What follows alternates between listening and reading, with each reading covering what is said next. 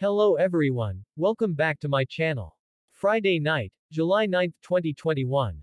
The actor of Leo in drama series, Don't Say No the series, Ja Pachara through his personal Instagram account at Jaja has uploaded photos to promote watches and necklaces from Daniel Wellington brand. Ja Pachara looks very handsome and cool with a collection from that brand. In that post, Ja Pachara looks like a professional model who is campaigning for a luxury watch and necklace. Ja Pachara looks very simple wearing a black shirt and black t-shirt. The luxurious and classic impression in the photo appears because Ja is wearing watches and necklaces from that brand.